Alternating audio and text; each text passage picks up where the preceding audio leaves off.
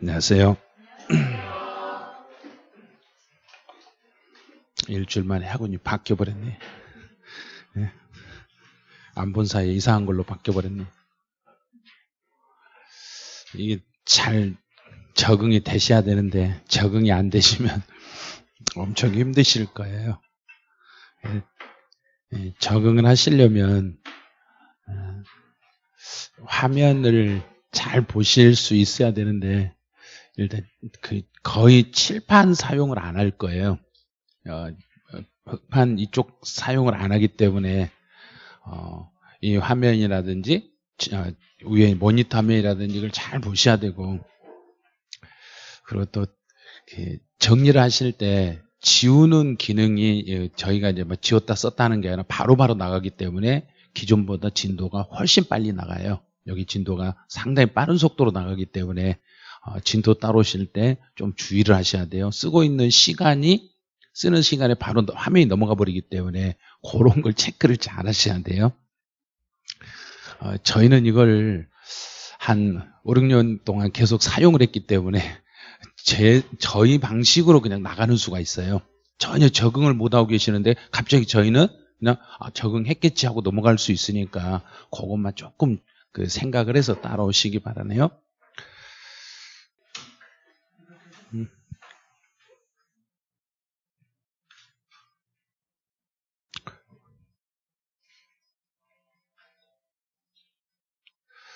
어, 이제 첫 번째 1번으로 한번 가보죠. 1번은 이제 1번 지문 같은 경우는 요거 이제 읽으실 때 좀 조심하셔야 돼요. 이거 읽으실 때 상당히 이제 주의를 하셔야 되는데 외국인 소유의 취득세 과세 대상 물건을 임차해서 수입을 하면 이제 여기까지를 먼저 끊으셔야 돼요. 그래서 외국인 소유의 물건을 우리나라로 취득해서 우리나라로 가지고 들어올 때 어, 취득세를 물렸을 때 여기서 이제 취득세를 물렸을 때 이제 어떻게 물리는가 이제 잘 생각하세요. 취득세를 물리는데 이 취득세가 특례세율을 적용했다는 걸 주의를 하셔야 돼요. 특례세율. 그럼 특례세율을 적용을 하다 보면 여기서 여기서 특례세율이라는 거 뭐냐면 표준세율이 아니라 특별한 세율로 가는 거예요. 그럼 취득세에서 수입 물건에 대해서 특례세율을 적용할 때는 무슨 취득인 경우에 한해서만 적용해라 그랬던가요? 그래요. 연부취득이었어요. 연부로 취득했을 때만요. 연부로 취득했을 때만 이걸 적용해라 그랬어요. 그럼 연부로 취득했을 때만 취득세를 취득세 세율 특별하게 2%만 적용해라 그랬어요. 그럼 2%만 적용해라 그랬으니까 등기값 등기까지는 등기까지는 취득세에서 물렸다는 이야기인가 안 물렸다는 이야기인가? 그래요. 안 물렸다는 이야기예요. 그럼 나중에 여기서 등록을 할 때는 이제 연부 취득에 대한 등록을 할 때는 취득세는 이미 물건값 2%는 받았으니까 등록을 할 때는 등록 면허세로 넘어가야 되는 거예요. 그래서 등록에 대해서는 이 경우는 등록 면허세를 부과하겠습니다. 이렇게 가는 거예요. 그래서 반드시 연부 취득이라는 단어를 꼭 생각하셔야 돼요. 연부로 취득했을 때는 취득세에서 특례세율을 적용했기 때문에 등록을 할 때 등록 면허세 대상으로 바뀌겠습니다. 이렇게 가면 돼요. 자, 이제 두 번째요. 두 번째는 이전 등기를 생각을 해요. 이전 등기. 자, 이전에서 등기했어요. 그러면 이전에서 등기를 했어요. 그러면 이제 여기서는 이전 등기예요. 그러면 무슨 세를 먼저 생각을 하는 걸 생각했어요. 이전에서 등기하면 취득세와 등록면허세 중에 무슨 세로 그래야 된가? 그래요. 취득세로 이렇게 가는 거예요. 취득세로 이렇게 갔어요. 취득세로 갔는데 그런데 문제는 지금 등록면허세 세율은 그랬네요. 그럼 등록면허세 세율은 그랬으니까 취득세 부과가 가능했을 때란 얘기인가 불가능할 때란 얘기인가? 요, 이게 불가. 원래는 취득세를 내야 되는데 취득세 부과가 불가능하니까 등록 면허세로 바꾸겠다는 이야기예요. 요. 등록 면허세 대상으로 이렇게 바꾸겠다는 이야기예요. 그러면 이제 등록 면허세로 가야 되는데 원래가 취득세니까 취득세 규정을 그대로 갖다가 등록 면허서 넘어오셔야 돼요. 그럼 이제 취득세 규정에서 상속이니까 농지를 상속을 받으면 2.3% 농지가 아니면 2.8% 이렇게 두 개로 나눠져요. 두 개로 나눠지는데 이 중에서 이 둘 중에서 더 높은 세율로 이렇게 가는 거예요. 그럼 높은 세율 중에 취득세 부과가 불가능하니까 2.8에서 취득세 부과가 불가능하다는 이야기는 몇 프로가 없어진다는 이야기인가? 2%가 없어진다는 이야기예요. 2%가 없어지니까 남는 건 0.8% 이것만 남아요. 그럼 끝에 있죠. 여기 15가 아니라 8이 해야 되는 거예요. 그럼 이건 X예요. 이렇게 가면 돼요. 이렇게 풀어가시면 돼요. 그래서 이제 3번은 3번에 대해서는 이제 임차권 설정 등기인데 여기서 이제 설정 등기예요. 설정. 설정 등기예요. 그러면 설정이란 말을 썼으니까 설정 등기는 원칙은 취득세와 등록면허세 중에 무슨 세로 물리면 되는가요? 그렇죠. 등록면허세로 물리셔야 돼요.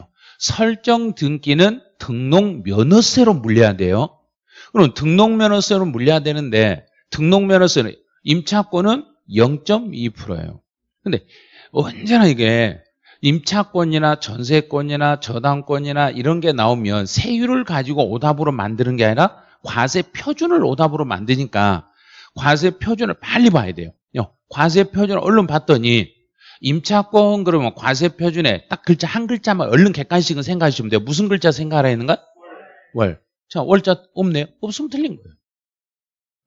그래서 여기는 월 임대차 금액으로 이렇게 바꾸셔야 돼요. 여기를. 월 임대차 금액을 과세 표준으로 해서 이렇게 가면 돼요. 그래서 월 임대차 금액이에요 이러면 되는데 어, 아니라 했으니까 너는 틀렸어요 이러면 돼요. 문제 이렇게 푸시면서 야 이거 그냥 이게 세율을 물어보니까 세율만 답이 되지 않나 이렇게 그럴 거예요. 세율을 분명히 물어봐 놓고 과세 표준을 뒤집어 버린 거예요. 그러니까 시험 볼 때 특히 등록 면허세는 다음 중 표준 세율에 대한 설명으로 틀린 걸 찾아라 했는데 세율이 아니라 과세 표준이 틀리게 돼 있을 수 있으니까 그런 거 찾으시면서 어? 왜 세율이 아니라 여기를 틀리게 했지? 근데 문제 출제 위원들이 주로 과세 표준을 많이 틀리게 하니까 그거 조금 생각을 하고 문제 적게 주시면 돼요. 근데 4번 같은 경우는 신고는 하지 않았으나 신고를 안 했어요. 신고를 안 했더라도 등록하기 전에 납부만 해버리며 신고를 않고 등록하기 전에 돈만 내면 신고 안 한 걸로 봐라 그런가요? 한 걸로 봐라 그런가? 자, 한 걸로 보죠. 한 걸로 본다는 이야기는 두 가지를 이제 생각하셔야 돼. 한 걸로 봤을 때는 무신고든 과소신고든 다 한 걸로 보는 거예요. 그래서 무신고 가산세든 과소신고 가산세든 둘 다 부과 한다 해야 된가? 둘 다 부과 안 한다 해야 된가? 둘 다 안 한다. 둘 다. 둘 다 안 한다예요. 하나만 안 하는 게 아니라 둘 다 부과하지 않습니다. 그래서 부과하지 않아요. 그래서 네, 맞아요. 이렇게 가면 돼요. 이제 5번은 이제 5번 같은 경우는 여기는 무덤이라는 단어가 딱 나오네요. 그럼 이제 무덤이 나오면 제일 먼저 생각을 할 게 이게 시험 문제 지문 제일 위에 지문이 취득세에 대한 설명인지 등록면허세인지 재산세인지를 빨리 생각하셔야 돼요. 그럼 지금 여기에 나와 있는 것은 이 내용은 어느 법이란 이야기인가? 등록면허세죠. 그럼 이제 다른 거 볼 게 없어요. 무덤이라고 나오고 등록면허세라고 나오면 요거는 과세로 간다? 비과세로 간다? 자, 비과세니까 틀렸어요. 이렇게. 이런 식으로 이렇게 가면 돼요. 이제 6번. 재산세 과세 기준일 현재 사용이 일시적으로 그러면 사용이 일시적으로 어? 일시적으로 공부상과 달리 사용하고 있네요. 그럼 공부상의 내용과 사실상의 내용이 다르는데 서로 다르는데 다른 이유가 계속 다르다는 이야기인가? 잠깐만 다르다는 이야기인가? 잠깐만 달랐을 때는 사실로 물리라는 이야기인가? 공부상으로 그냥 물리지 않은 이야기인가? 공부상으로 물려주세요. 이런 경우 잠깐만 달랐을 때는 공부상에 따라서 재산세를 부과하시면 됩니다. 그래요. 이제 7번에서 다가구 주택이라는 이런 문구가 딱 보이면 다가구가 보이면 이게 무슨 법에서 다가구인지를 빨리 생각을 해야 돼요. 지금 지금 보는 지문은 지금 이거는 재산세 내용인가요? 종부세 내용인가요? 지금 여기 지금 이 범위가 어느 범위에 들어 있는가요? 재산세죠. 그러면 재산세에 대한 다가구가 나왔을 때는 딱 두 개를 생각하세요. 재산세에서 다가구가 나오면 먼저 독립. 독립이라는 거. 만약에 우리 제, 원래 다가구는 다가구는 여러 개로 나누게 되는가 하나로 보는 가? 하나 하나. 다가구 하나예요. 하나인데 하나의 주택인데 일 가구가 그 안에 있는 한 한 집 속에 여러 가구가 있는데 그 가구가 따로따로 생활할 수 있도록 독립 생활이 가능할 정도로 따로 분리되어 있으면 따로 분리가 되어 있으면 그 분리된 한칸한 칸을 주택으로 봐드리겠습니다 이거요. 요 두 개 단어를 꼭 확인하셔야 돼요. 다가구는 독립 생활이 가능할 정도로 분리가 되어 있으면 그때는 전체를 한 집으로 봐라 하나하나를 집으로 봐라 하나하나를 따로따로 집으로 봐주세요 그러면 네 맞았어요 이렇게 가요 이제 8번은 8번 같은 경우는 이제 과세 구분인데 별도 합산, 종합 합산, 분리과세 요거 물어보면 이제 토지의 과세 구분을 물어봤을 때는 일단 영업활동에 쓰고 있는 땅인지 생산활동에 쓰는 땅인지 사치활동에 쓰는 땅인지 이것도 저것도 아닌 그냥 일반 그냥 아무것도 아닌 그냥 일반적인 경우인지 그걸 보셔야 돼요. 그럼 8번에서 허가나 사용 승인을 받아야 되는데 허가를 받지 아니하고 그러면 허가를 안 받고 건물 밑에 있는 땅이 있다. 그러면 이 땅은 건물에 허가 받은 건물의 땅이란 이야기 그냥 허가 받지도 않는 땅이란 이야기인가? 허가 받지도 않는 땅이니까 정부 입장에서는 건물 자체를 허가 내준 적이 없어요. 그러면 이게 건물이 있어도 건물이 없는 그냥 밑에 있는 땅만으로 본다는 이야기예요. 그럼 아무것도 아닌 그냥 일반 나대지로 본다는 이야기예요. 여기서 허가받지 않는 건물의 부속의 토지는 그냥 나대지로 해석해 버린 거예요. 그리고 나대지로 해석한다는 이야기는 이렇게 나대지로 온다는 이야기는 영업이나 생산이나 사치란 이야기가 아무것도 아니란 이야기인가? 아무것도 아니에요. 아무것도 아니면 그냥 별도가 아니라 종합합산 과세 대상입니다. 어, 틀렸어요. 이렇게 가면 돼요. 음. 과세 구분 상당히 어려우시더라고요. 이 부분을요. 그 다음에 이제 9번은 이제 납세 의무자 문제가 났을 때 재산세 납세 의무자라고 문제가 나오면 무조건 누가 누가 세금을 낼 것인가 생각해 봐요. 주택에 대한 건물 주인과 땅 주인이 서로 달랐어요. 주인이 다르면 세금은 건물 주인이 내야 된가요? 땅 주인이 내야 된가요? 각자 내야 된가? 그래요. 각자 내야 돼요. 각자 내는 게 맞아요. 그 소유자가 내는 게 맞는데 그런데 이제 주의할 게 주택에 대해서는 건물 주인과 땅 주인이 다르다 해서 세금 계산을 건물만 따로 땅 따로 계산하는가 합쳐서 계산하는가? 자, 그럼 여기가 이제 제일 중요한 단어예요. 산출세. 이 산출세액이라는 게 이게 총세액이라는 이야기예요. 전체 세금. 전체 세금을 먼저 계산을 해. 그러면 건물값하고 토지값, 건물 가격하고 토지 가격을 더해서 전체로 세금을 계산한 후에 이걸 건물 주인하고 땅 주인에게 나눠줘야 되는데 나눠줄 때 이제 시험 문제 답이 나눠줄 때 무엇의 비율로 나눌 것인가? 요게 시험 문제 답이란 이야기예요. 여기가 답이 아니라 나누는 비율이 답이에요. 그런데 이제 건물하고 땅의 소유자가 다르니까 지분 표시가 있는가? 지분 표시는 없는가요? 없죠. 없죠. 그러면 건물 가격과 땅 가격의 비율로 나눠야 되는데 이 가격은 누가 정한 가격 비율로 해야 맞겠는가? 정부가. 그럼 정부가 정한 가격 비율이니까 정부에서 정한 가격 비율이니까 요 면적 비율이 아니라 가격. 가격이니까 정부가 정한 가격을 시가 표준액이라고 그래요. 그래서 시가 표준액 비율로 나누겠습니다. 이렇게 가면 돼요.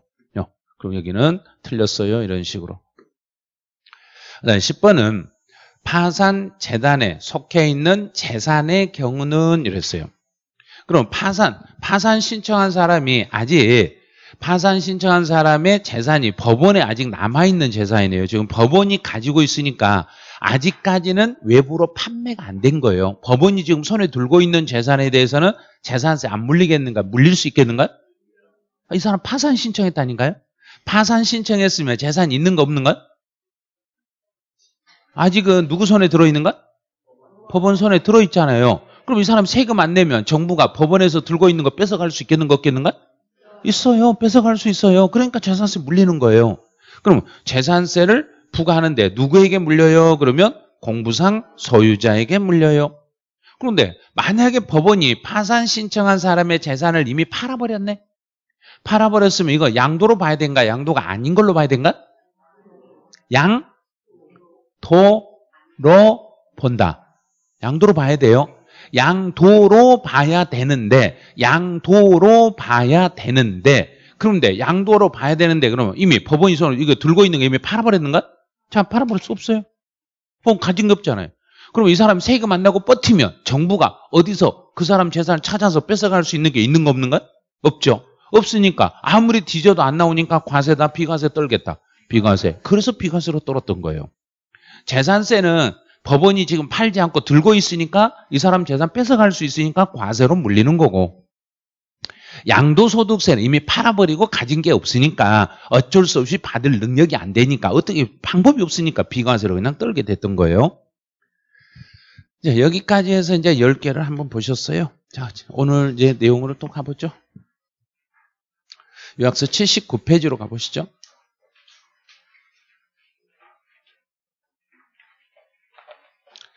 (79페이지는) 과세 표준 및 세율 내용이네요. 여기는 시험 문제 나오면 과세 표준하고 세율은 그 단독 문제가 아니라 그 묶어서 나와요. 전체 묶어서 나오니까 쉬워요. 어, 이렇게 묶음으로 큰 범위를 묶음으로 나왔을 때는 흐름 위주로 나오니까 아주 쉬워요. 그 만약에 과세 표준만 한 문제를 만든다 그러면 깊이 나오니까 어려워요. 요즘은 한 파트에서 깊이 내는 게 아니라 전체적인 흐름으로 내기 때문에 문제 풀기 아주 수월해요. 알고 보면. 이제 과세 표준 잡아라 그러면 과세 표준을 잡을 때 먼저 생각할 때 뭘 생각을 하냐면 이 과세 표준을 누가 계산하는가 요걸 먼저 생각을 하셔야 돼요. 누가 계산하는가? 납세 의무자, 납세 의무자 내가 직접 하는 게 있어요. 납세 의무자가 직접 하는 게 있고 정부에서 세무 공무원이 해주는 게 있어요. 그럼 납세 의무자가 하는 방식을 무슨 방식 그런가요? 신고 납부 방식이라고 그래요. 내가 하는 방법을 신고 납부 방식이라고 하고 정부에서 해주는 방식을 보통 징수 방식이라고 그래요. 그럼 이제 세금마다 어떤 세금이 어디에 속하는지를 요걸 빨리 판단을 먼저 하고 과세표준이 들어가셔야 돼요. 그래서 과세표준 문제가 나올 때는 이게 신고 납부 내가 하는 방식인가 정부가 해주는 방식인가 요걸 두 개를 먼저 파악을 해 주셔야 돼요. 그럼 이제 취득세부터 연습해 볼게요.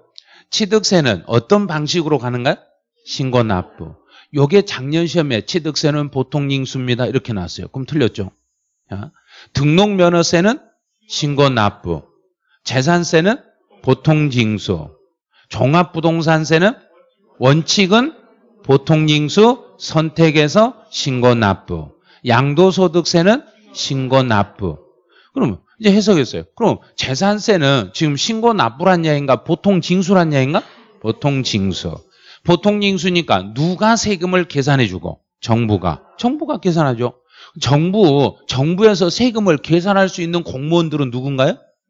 그렇죠. 그래서 세무 공무원이 이렇게 말한 거예요.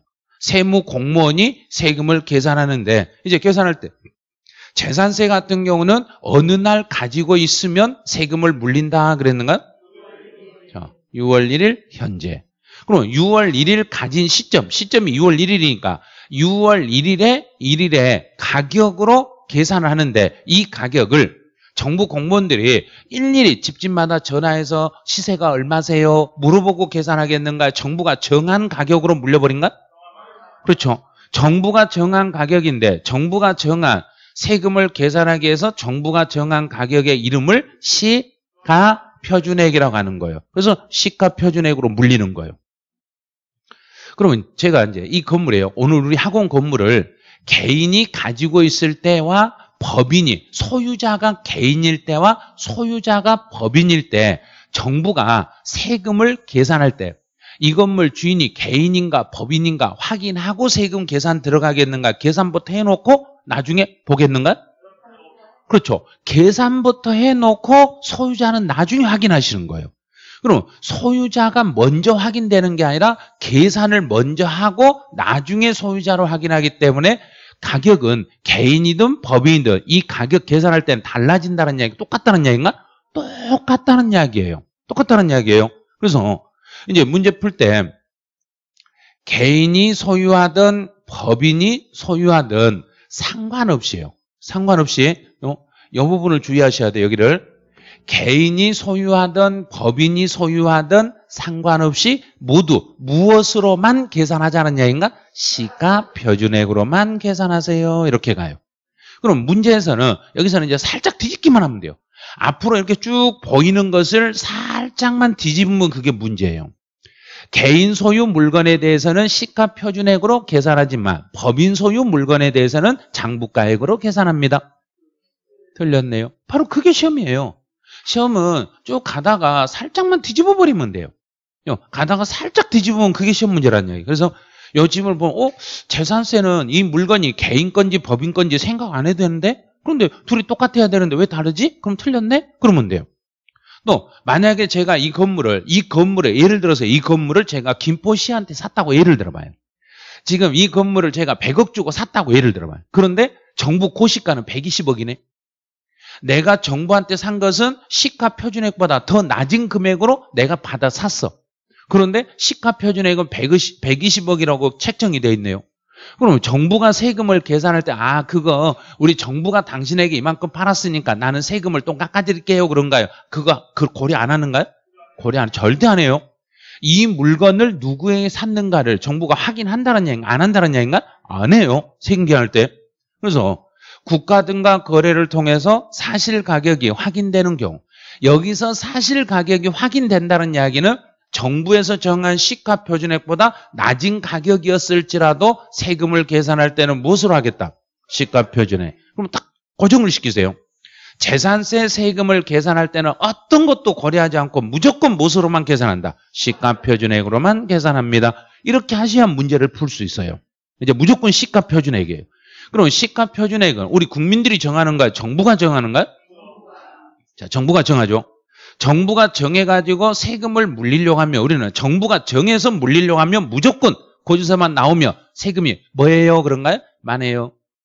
시험 문제만 주면 뭐라고 하는가요? 어려워요. 안 봐? 안 보고 어려워요. 그래. 예? 고지서만 나오면 많아요. 그래요.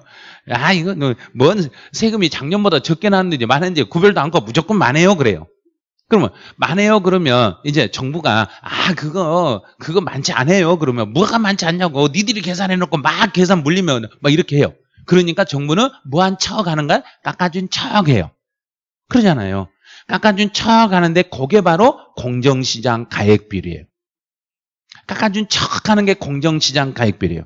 백화점에 가 물건값 비싸요 그러니까. 네 가을맞이 할인 행사해 드리겠습니다 가을 지나면 추석 맞이 특별 할인 행사입니다.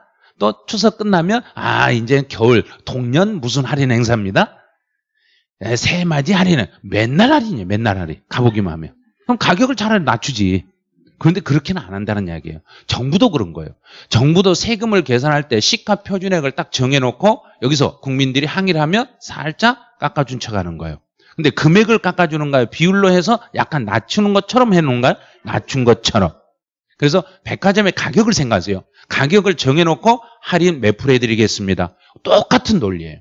야, 그러면 자산별 과세 표준을 계산할 때 토지, 건물, 주택, 선박, 항공기가 있는데 이 중에 토지는 시가 표준액의 공정시장 가액비율을 곱하기 해서 이걸 곱하기 한다는 이야기는 과세 표준을 올리겠다는 이야기인가 조금은 낮춰주겠다는 이야기인가 낮춰주겠다는 이야기예요. 그런데 이건 비율을 고정적으로 딱 정해놓은 게 아니라 정부가 50%에서 90% 범위 내에서 매년 결정을 하는 거예요. 매년 누가 결정하냐면 우리나라 대통령이 국무회 장관들하고 협의해서 몇 프로를 하자 결정을 해요. 몇 프로를 하자고. 그래서 이번 연도에 결정이 된 건 토지는 70%예요. 토지는 70%예요. 그다음에 건축물은 50에서 90% 범위에서 정할 건데 정할 건데 이제 제가 이제 제가 이제 예를 들어서 제가 예를 들어 나라님이라고 한번 해봐요. 그리고 여기 계신 분들이 다 장관들이에요. 아, 제 개인 생각은 70% 했으면 좋겠는데 이가 있으신 분? 자, 이 있으신 분? 쟤는 70% 하고 싶은데 이 있으신 분? 아무도 아 있으신 어 그럼 몇 프로 한90% 합시다 그럼 이제 에 그거 너무 요즘 경기 사정도 안 좋고 그런데 좀 아, 70% 그냥 가시죠. 뭐 다른 사람들은 이 없죠? 네, 이 없는 걸로 보고 70% 갑니다. 네. 70% 이렇게 책정됐어요. 이게 이게 몇 년 동안 계속 똑같아요. 몇 년 동안 똑같이 됐어요. 그래서 토지와 건물은 몇 프로라는 얘기인가? 70%.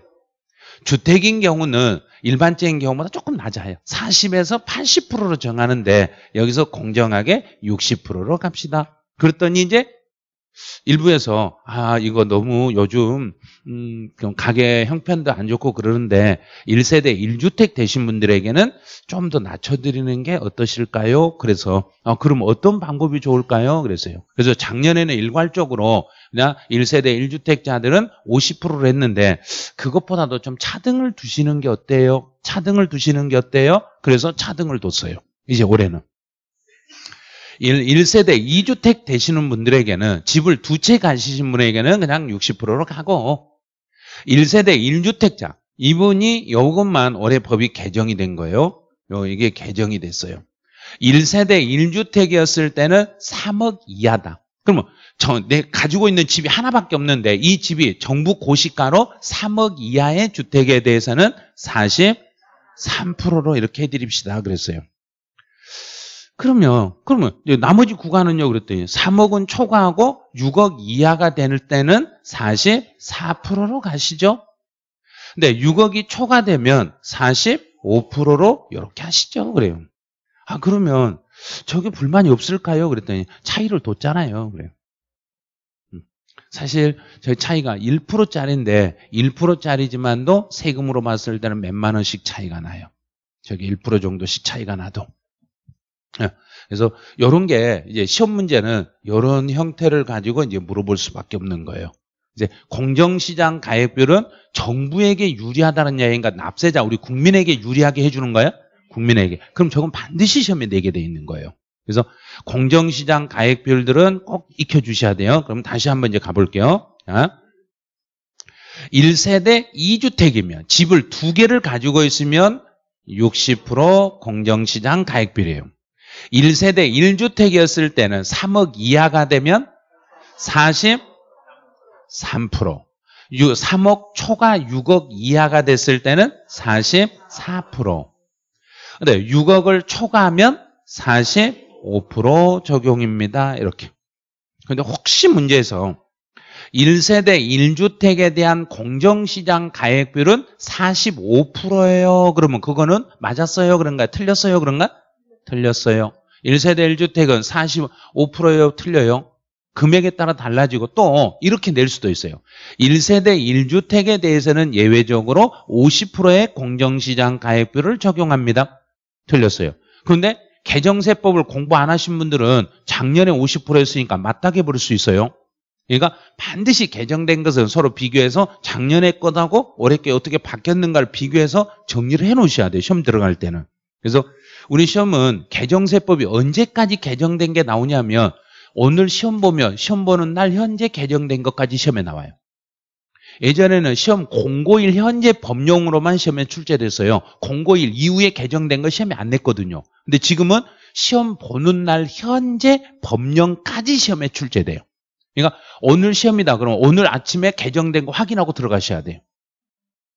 근데 그거 오늘 시험이라면 이미 오늘 개정이 되는 거 시험 문제가 반영이 됐겠는가 안 됐겠는가? 안 됐죠. 출제위원들이 시험 보기 시험 보기 한 5일 전에 문제가 다 만들어지니까 그거는 고려 안 하셔도 돼요. 그래서 한 7월 달 이번 달까지 이제 7월 달까지 개정되고 8월 안에 개정된 것까지는 공부를 하시고 9월 달 10월 달에 개정된 건 그냥 무시하셔도 돼요. 그런 것들은요.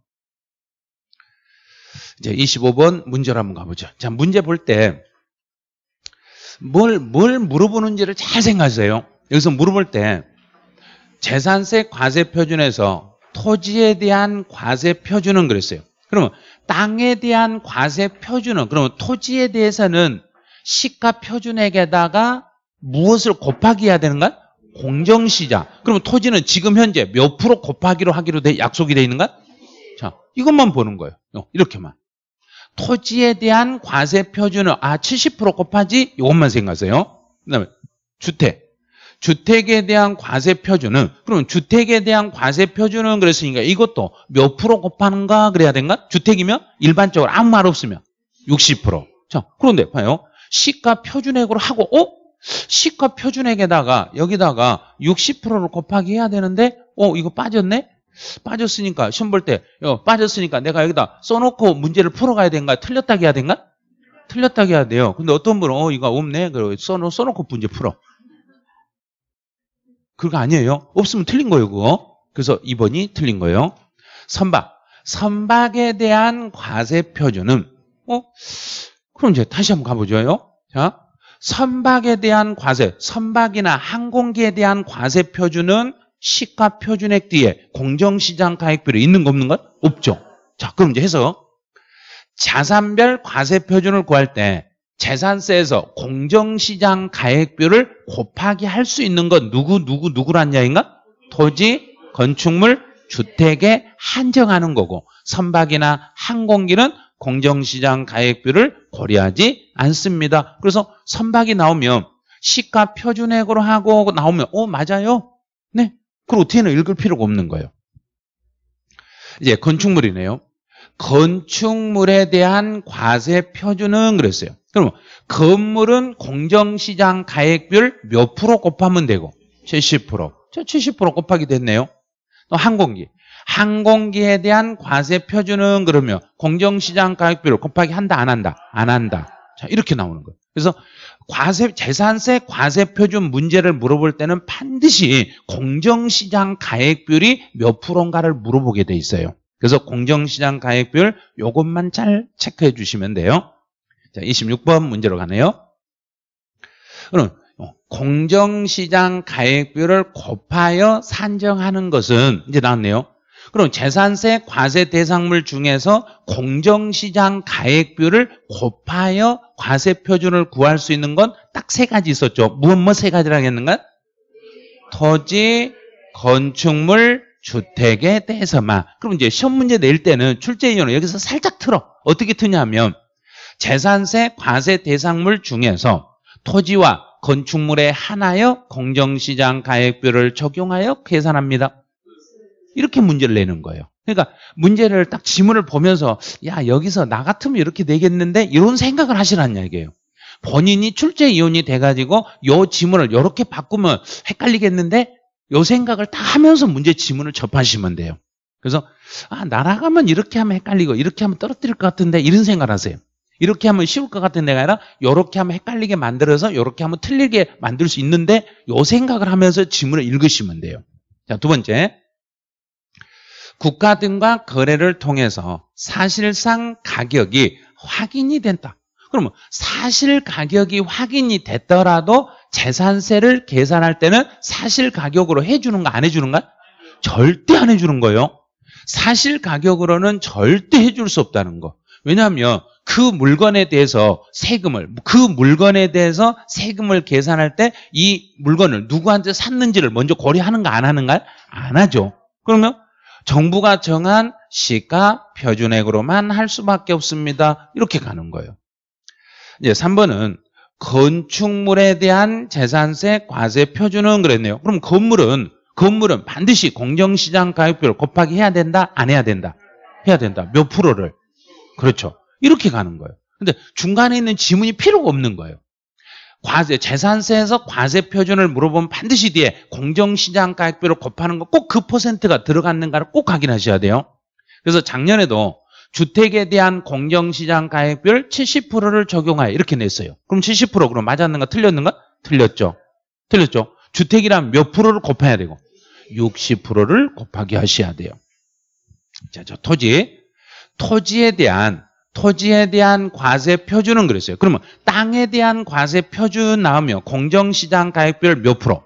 70%. 이거 맞았죠? 이것만 이렇게만 보는 거예요. 이게 지문을 다 읽어가지고 풀려면 시간이 없으니까 딱 보고 토지 과세 오 70% 맞았네? 그럼 끝. 자 됐어 이제. 그럼 주택.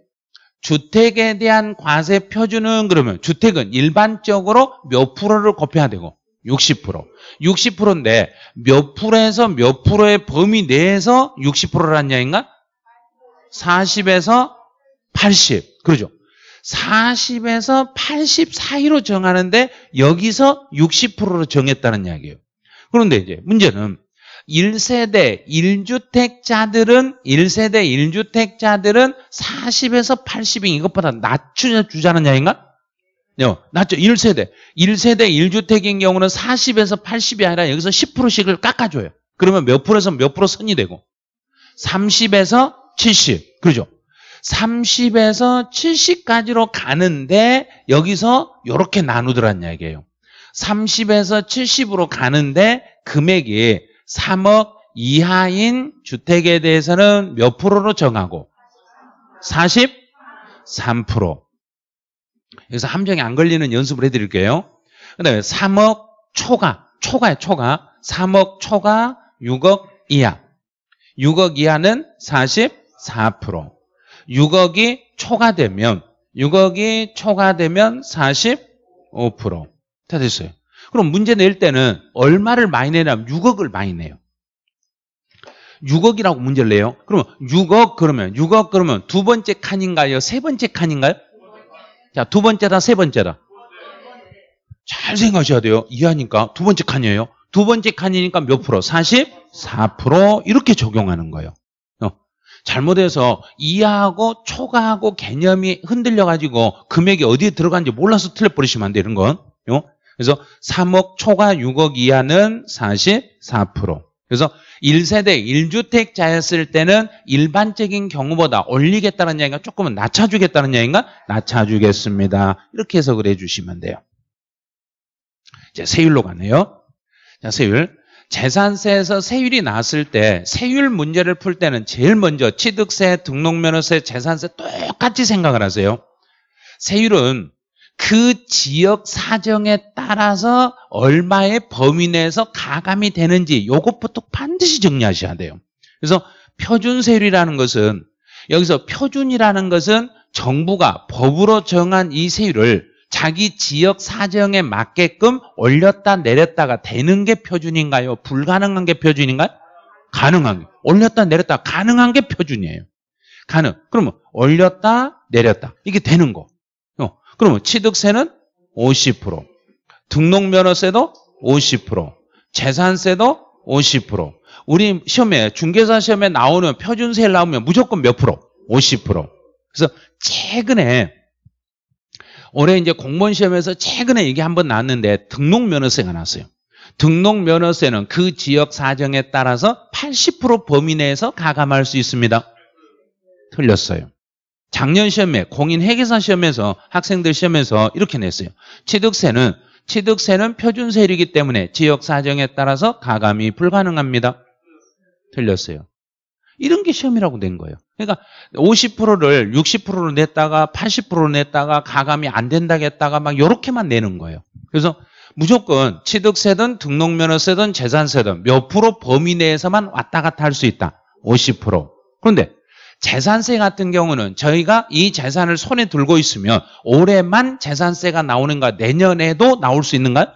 내년에도 나올 수 있죠. 그러면 이제 문제는 한 번 가감했으면 올해 가감했으면 내년에도 가감돼요 이렇게 물어보니까 아니요 올해만요 이러면 돼요. 그래서 해당 연도에만요 여기가 이제 시험 문제예요.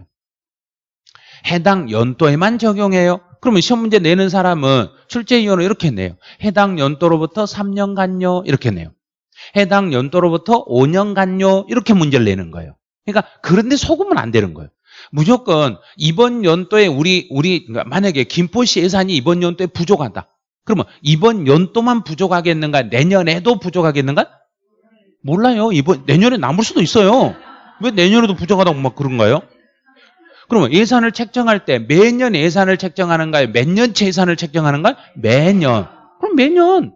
올해는 올해 예산을 책정해놓고 쓰다 보니까 부족하니까 더 받는 거예요. 그럼 내년에는 어차피 처음부터 예산을 많이 책정하면 되는 거예요. 그런 식으로. 그래서 그 해년마다 이렇게 예산이 책정이 되다 보니까 그 해 올리고 내리고는 그 해만 적용을 하는 거지 다음으로 연결해서 적용해서는 안 된다는 거. 그럼 시험 문제 여기만 이렇게 바꿔치기 하는 거예요. 자, 이제 두 번째로 가보죠. 그러면 토지에 대한 세율로 가, 이제. 토지. 자, 땅. 야, 양가라 1번은 이제 토지인데, 우리 토지는, 여기서 토지는 구분을 몇 개로 구분했던가? 세 개. 세 개죠. 그럼 그 중에 첫 번째가 종합합사, 별도합사, 또 하나가 분리과세요. 요, 이렇게 세 개로, 이렇게 나누네요. 그럼 종합합산, 별, 별도합산, 분리과세 세 가지로 나누는데 이 세 개 중에 세 개 중에 합산과세로 가는 건 무엇과 뭐 두 개가 합산과세로 가는가? 종합합산, 별도합산 그러죠. 그러면 합산과세로 가는 것들은 종합합산에 대해서는 종합합산만 묶어가지고 세금을 따로 계산하고 별도합산은 별도합산만 묶어서 세금을 따로 계산하고 그러면 종합합산, 별도합산, 분리과세로 구분하는 것은 무엇이 다르기 때문에 이렇게 따로 구분했던가요?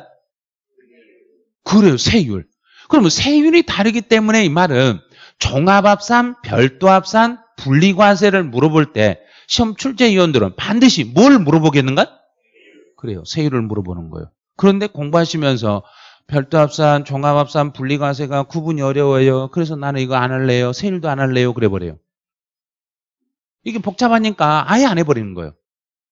아예. 그러고 나서 어떤 분은 세율만 암겨놓고 이게 종합인지 별도인지 구분을 못해. 그러니까 세율은 다 암겼는데 이거 어디다 쓰는지를 몰라.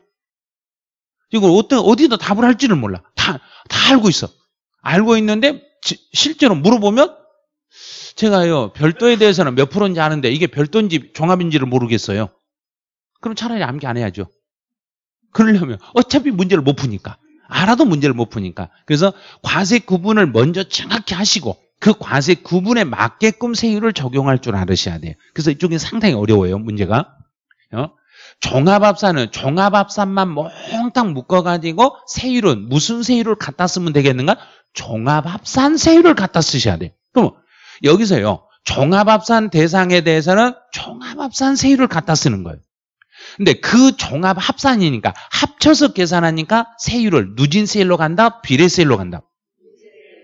누진 세율로 가는 거예요. 합치니까. 많이 가진 사람에게는 세금을 많이 물린다? 조금 물린다? 많이 물리겠고 이래서 초과 누진 세율로 가는 거예요. 별도 합산도 별도 합산 토지도 합쳤죠. 합산해서 과세하니까 별도 합산의 세율을 적용하는 거예요. 근데 별도 합산 토지도 많이 가지면 많이 가질수록 세율은 누진 세율로 과세하겠습니다. 자, 시험 문제가 작년 중개사 기출문제 중에 종합부동산세에서 작년에는 종합합산 토지의 세율, 별도합산 토지 세율을 출제했어요. 이미 작년에 종부세에서 종합합산, 별도합산의 세율을 이미 출제해버렸어요. 종부세에서. 그러면 이제는 종부세를 또 내겠는가? 못 내겠는가? 못 내겠죠. 한 번 내버리면 그 다음에 안 내겠니까. 한 번 작년에 냈던 지문은 그 지문은 정답으로 다시 내지는 않아요.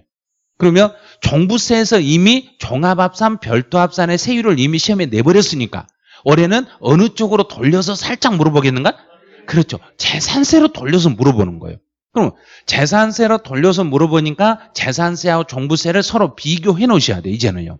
그럼 종합합산 토지는 초과 누진세인데 그 누진율이 몇 프로예요? 물어보면 0.2에서 0.5%예요. 이렇게 얼른 0.2에서 0.5예요. 그런데 별도 합산 토지는 어떻게 돼요? 그러면 종합 합산보다 세율이 더 높아요? 그래야 되는가? 조금은 낮춰줘요? 그런가? 조금은 낮춰줘요? 그래야 돼요. 조금은 낮춰줘요.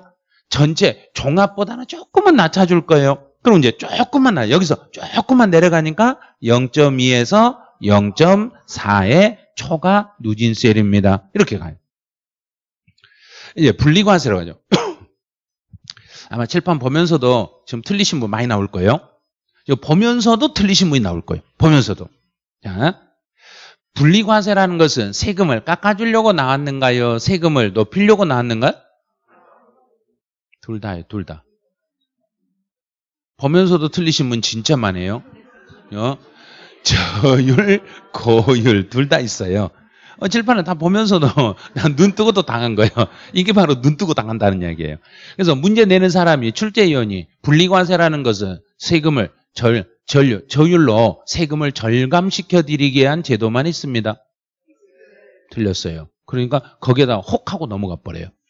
분리과세라는 것은 낮추는 것도 있지만 높이는 것도 있어요. 어, 낮추는 것, 높이는 것 둘 다 있다는 걸 주의해 주셔야 돼요.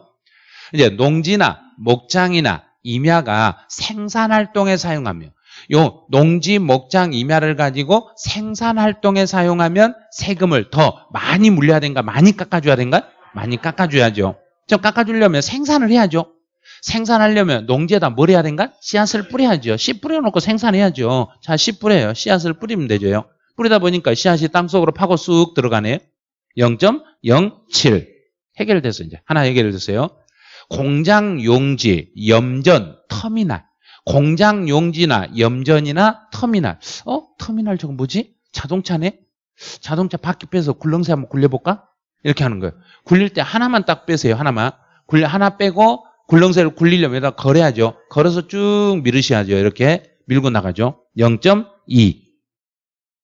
골프장이나 고급 오락장은 사치니까 너는 4, 4% 이렇게. 사치니까 4% 이러면 돼요. 이제 스스로 정리됐는가? 체크하네요. 자, 가보죠. 종합합산 토지는 0.2에서 0.5. 별도 합산 토지는 0.2에서 0.4. 농지 목장 임야는 0.07. 공장, 염전, 터미널은 0.2. 골프장, 고급 오락장 아, 이거 진짜 어려운 내용인데 이걸 쉽게 맞춰낼 수 있겠네요.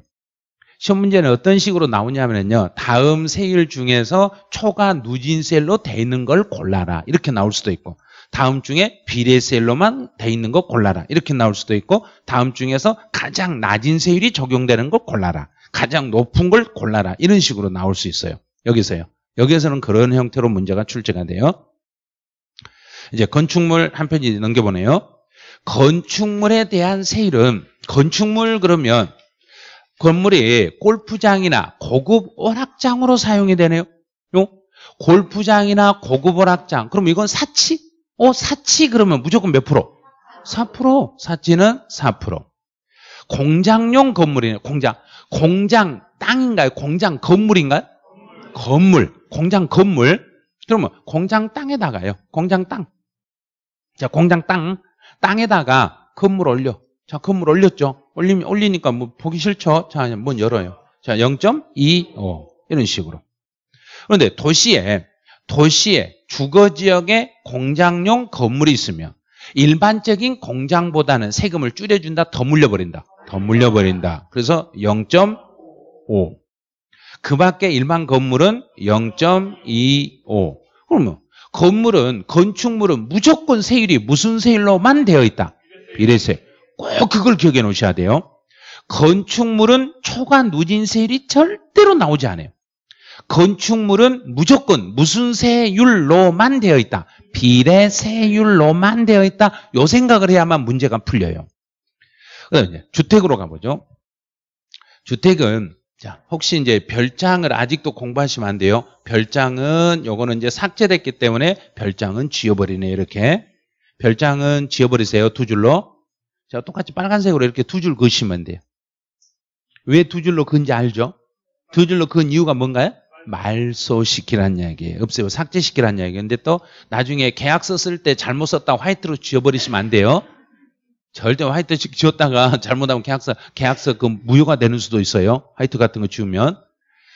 그래서 이제 주택은 일반적인 주택에 대해서는 제일 중요한 게 바로 여기에요. 자, 시험 볼 때는 주택은 여기가 이제 포인트예요. 주택은 주택별로. 주택별로 그 말은 그 사람이 가지고 있는 이 말인가요? 주택 한 개씩 이 말인가? 주택 한 개씩 이 뜻이에요. 그래서 주택에 대해서는 주택에 대해서는 소유자별로 세액을 계산하여 그러면 맞았는가 틀렸는가? 틀렸어요. 소유자별로 그럼 틀려요. 주택별로 주택별로 세금을 계산. 어? 주택별? 그러면 합쳤는가? 합치지 않았는가? 합치지 않았죠. 합치지 않았는데도 특이하게 초과 누진세로 간다는 이야기. 이게 특이상이라는. 그래서 계속 시험에 내는 거예요. 그래서 해년마다 주택은 시험에 내는 거예요. 주택은 매년 내는 거예요. 매년. 주택은 주택별로 계산하되 한 개씩 한 개씩 계산하되 세율은 초과 누진 세율로 가요. 초과 누진 세율로 가는데 그 세율이 0.1에서 0.4까지로 갑니다. 0.1에서 0.4까지의 초과 누진 세율을 적용하시겠습니다. 그래요. 0.1에서 0.4까지로 갑니다. 그런데 재산세에서 이제 고급 주택을 그랬어요. 어? 고급 주택? 자, 고급 주택을 두 개로 한번 나눠 볼게요. 취득세. 취득세에서는 취득세에서는 고급 주택을 일반 재산으로 보는가요? 사치하는 재산으로 보던가? 사치. 재산세, 재산세가 아니라 취득세예요. 사치. 취득세에서는 사치성 재산으로 봐요. 그러면 사치성 재산이니까 몇 배로 중과세하고 자, 참고로 하나 알려드릴게요. 참고로. 오늘 시험 76일 남았어요. 참고로 알려드릴게요. 예, 강의를 하면서 그냥, 어, 그냥 참고만 하시라고 알려드린 거예요. 76일 남았다고. 77일인데 이미 아, 시험 시작했으니 바로 빼야 돼요. 그러니까 76일이에요. 사치 이제 이제 조금 이제 정신이 들으셨을 거예요. 자, 그러면 사치성 재산은 몇 배로 중과세하고 자, 그러면 이제 어, 추석 명절이 있어서 한 10일 정도 어, 이제 빼셔야 돼. 그러면 이제 76일에서 10일 빼니까 66일 정도로 이제 66일 정도로 이제 또 삭감시켰어. 자, 그러면 이제 다시 한번 사치성 재산은 취득세에서 사치하니까 몇 배다? 4배. 4배로 중과세합니다. 무조건 사치 그러면 세법에서 사치 나오면 무조건 사차 생각하세요. 사차. 사치하면. 그러면 취득세에서는 4배, 재산세에서는 사치하면 세율은 몇 프로? 4%. 4%. 4배, 4%. 똑같아요. 무조건 사치 그러면 사차만 생각하세요. 사치하면. 그런데 재산세에서는 재산세에서는 고급 주택일지라도 사 치성 재산이 아니라 일반 주택으로 봐요. 일반 주택으로 본다는 이야기는 4%를 적용하라는 이야기인가 하지 말라는 이야기인가? 하지 마라. 그러면 시험 문제에서 이제 올해는 여기를 물어볼 차례인데 여기를 왜 물어보냐면 작년까지로는 이걸 물어볼 때 뭐하고 같이 물어봤냐면 별장하고 묶어서 물어봤어요. 그런데 이제는 별장이라는 게 사, 없어져 버렸으니까 일반 주택은 0.1에서 0.4%의 세율로 과세하지만 고급 주택은 4%의 세율을 적용합니다. 이제 이렇게 물어볼 차례라는 이야기예요. 요. 그러면 고급 주택일지라도 사치로 바라는 이야기인가? 일반 주택으로 보라는 이야기인가? 일반 주택으로 보기 때문에 그냥 일반 주택하고 동일하게 0.1에서 0.4까지 초과 누진세율로만 가면 되는 거예요. 이렇게 정리하시면 돼요. 그래서 고급 주택이라 해서 재산세에서는 세율을 높이겠다는 이야기인가 그냥 일반 주택과 똑같이 보겠다는 이야기인가 일반 주택과 똑같이 봐가지고 세율을 적용하시겠습니다. 요걸 주의해 주시면 돼요. 올해도 주택에 대해서 문제 물어볼 거예요. 주택에 대해서 또 물어볼 거예요. 이제 주택의 세율을 한번 다시 가보죠. 주택의 세율에서 별장은 이제 공부하시면 안 되네요. 별장은 요거는 공부하시면 안 되고 이제 일반 주택으로 가보죠. 일반 주택은 자 일반 주택은 그러면 0.1에서 0.4까지의 세율이에요. 그러면 고급 주택은 어떻게 돼요? 하고 물어보면 고급 주택은 0.1 에서 0.4까지예요. 어? 똑같네요. 네, 똑같아요. 재산세에서 고급 주택은 일반 주택으로 봐가지고 0.1에서 0.4까지로 갑니다. 어? 그러면 주택에 대한 세율은 이제 주택에 대한 세율은 전부 다 초과 누진세율로만 되고 비례세율은 없어졌네요. 자, 그래서 거기에 양가라 3번에 주택의 타이틀에 초과 누진세율 옆에 비례세율 있죠? 제일 위에, 제일 위에 건축물 표 바로 밑에 양가로 3번 주택 뒤에 비례세율 두 줄로 그어버리세요. 비례세율 요건 없애버리세요. 그래서 주택에 대해서는 초과 누진세율로만 되어 있고 이제 비례세율이 별장이 없어졌기 때문에 비례세율이 없어져 버린 거예요. 이제 1세대 1주택으로 가보죠. 여기서 설명 잘 들으셔야 돼요. 1세대 1주택에서 약간이라도 실수해버리면 문제 풀 때 하나에서 함정에 딱 걸려버리시네요. 1세대 1주택은 1세대 1주택에 대해서는 특례세율을 적용합니다. 1세대 1주택에 대해서는 앞에서 공정시장 가액 비율도 특별히 올려줬던가요? 낮춰줬던가요?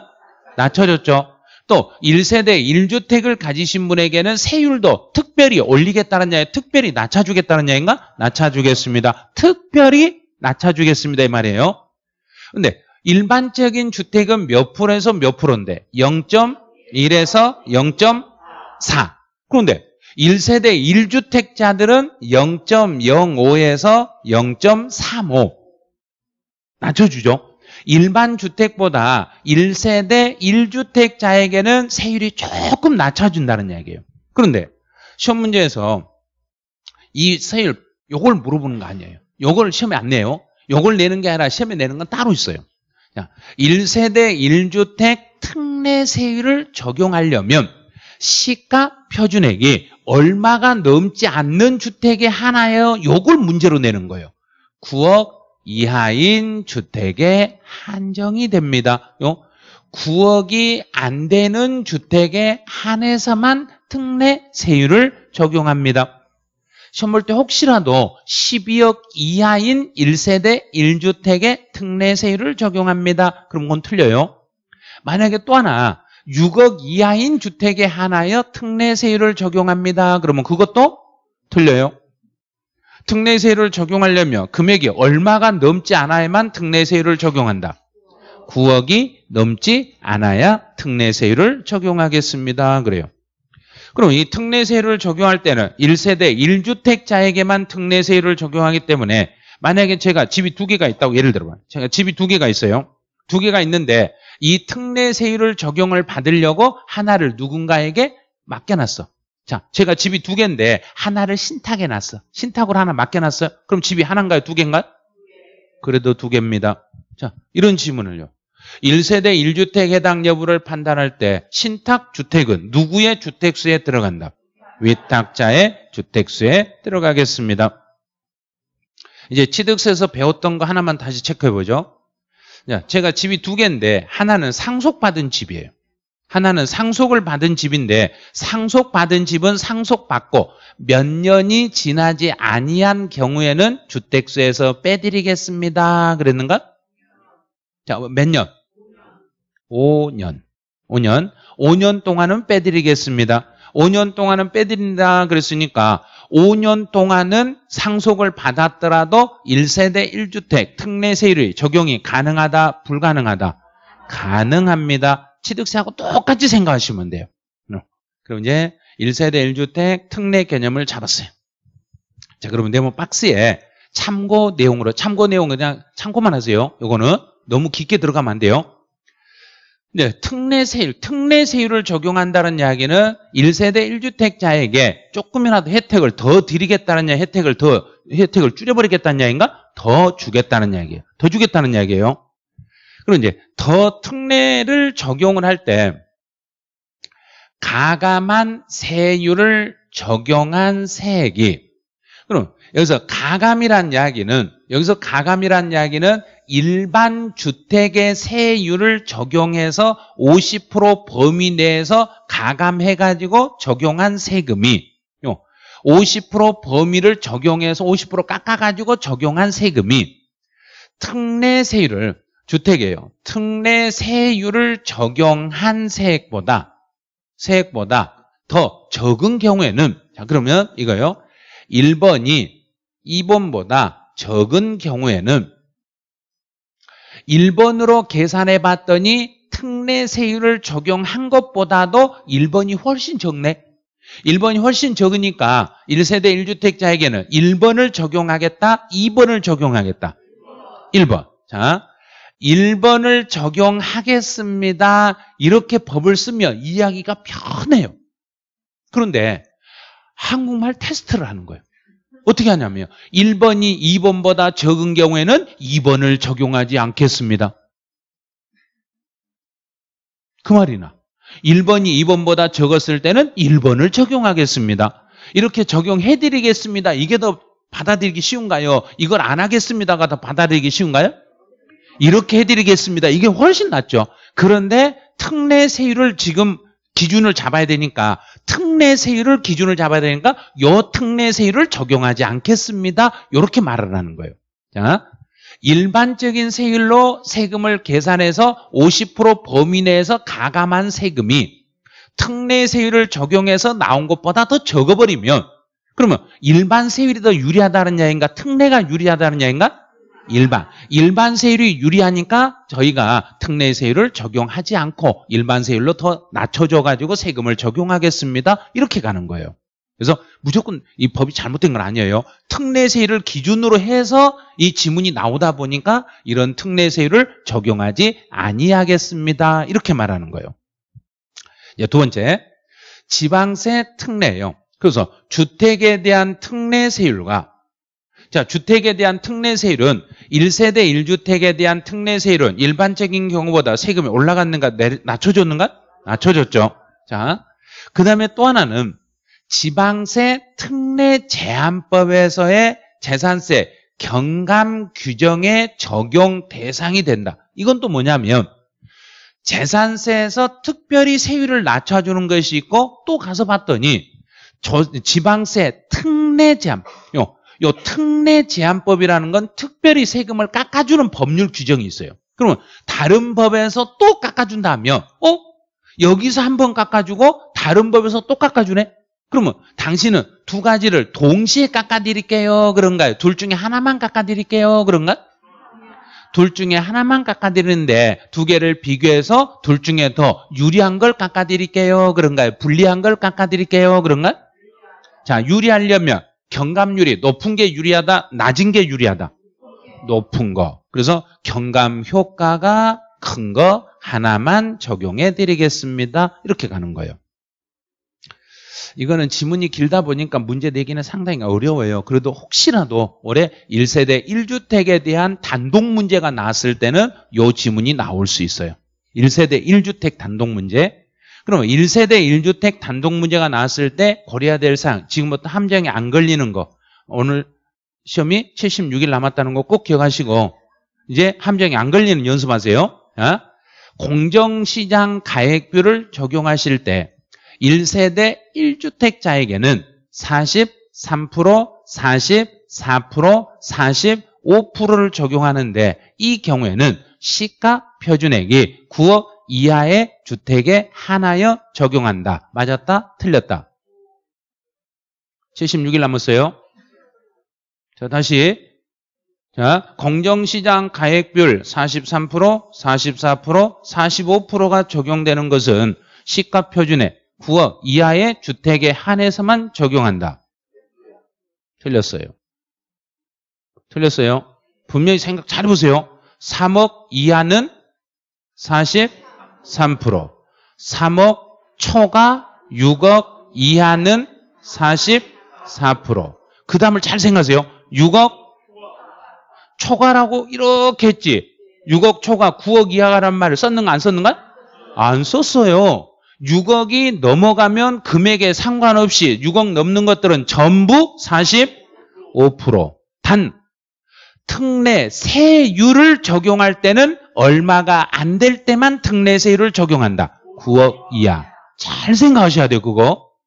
공정시장 가액 비율을 적용할 때는 9억 여부를 따지지 아니하고 세율을 적용할 때 한해서만 9억 이하를 고려해서 특례세율을 적용하게 된다는 거 그것만 주의해 주시면 돼요. 그 부분만 주의하시면 문제는 안 틀리고 풀 수 있어요.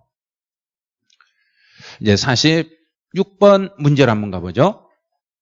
1세대 1주택이요. 여기 나왔죠. 1세대 1주택에 이렇게 나왔어요. 요런 문제로 출제했을 때를 대비를 하는 거예요, 지금. 1세대 1주택에 대한 재산세 설명으로 옳지 않는 걸 찾아라. 주택에 대한 과세 표준은 주택에 대한 과세 표준은 1세대 1주택이기 때문에 공정시장 가액비율을 몇 프로에서 몇 프로 사이로 정하라 그래야 된가? 30%에서 70%. 요 30에서 70% 범위에서 정하는데 금액에 따라서 3억이 안 되면 43%, 3억 초과 6억 이하면 44%, 6억이 초과된 주택은 45%를 적용하시면 됩니다. 또 재산세 세율 적용 시에 특례세율로서 특례세율 그러면 1세대 1주택에 대한 특례세율은 0. 0.05에서 0.35%까지로 갑니다.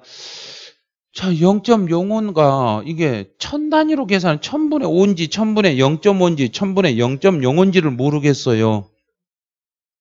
그럼 저희가 어떻게 해드릴 수가 없어요. 그건 못 해드려요. 천분의 0.05가, 천분의 0.5가 돼 있죠. 천분의 0.5가 몇 프로란 얘기인가? 0.05%예요. 이게. 또, 천분의 3.5는 천분의, 천분의 3.5는 0.35%예요. 어, 아시네, 다들? 어. 이거 어렵다고, 이거 어렵다고 질문 들어오신 분 있어가지고 그래요. 요게 이렇게 어떻게 바꿔지는지를 모르겠어요. 그래요. 그래서 그냥 가세요. 그랬어요. 지금 시점에 어떻게 할 수 없으니까. 예. 이제 3번은, 자, 3번은 주택에 대한 세율, 예, 주택에 대한 세율 특례와, 자, 세율 특례. 그다음 지방세 특례 제한법에서 겸감 규정이 깎아주는 거. 그러면 재산세에서 특례 세율하고 조세 특례, 지방세 특례 제한법에서 양쪽에서 두 개를 깎아준다면 두 개를 다 깎아준다, 하나만 깎아준다. 하나만 더 높은 거, 낮은 거, 높은 거. 근데 적은 거 그랬네요. 틀렸죠. 이런 식으로. 이게 3번 지문이 나오는 것은 1세대 1주택에 대한 단독 문제가 나올 때만 이게 들어가게 돼 있어요. 이런 식으로. 네, 4번. 상속을 원인으로 취득한 주택. 우리 상속을 받았을 때는 몇 년간은 주택수에서 빠진다. 5년간. 자, 5년간은 주택수에 포함하지 않습니다. 이제 5번 같은 경우는 5번은 요거는 보니까 어 이게 뭐지? 어 납부 유예네요. 자 납부 유예. 요것도 지금 뒤에서 배워야 될 건데 재산세도 납부 유예가 있어요. 종부세도 납부 유예가 있어요. 납부 유예란 제도가 올해부터 신설됐어요. 납부 유예는 1세대 1주택에 대해서만 납부 유예를 할 수 있어요. 그래서 1세대 1주택에서 이게 어, 들어온 문제예요.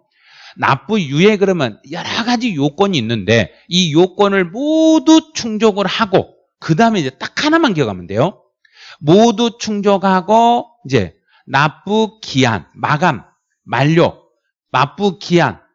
사실은 납부 기한이나 만료나 똑같은 건데 납부 기한 만료 며칠 전에만 그런가요? 자, 3일. 날짜 3일. 요 3일이라는 요 날짜만 기억하세요.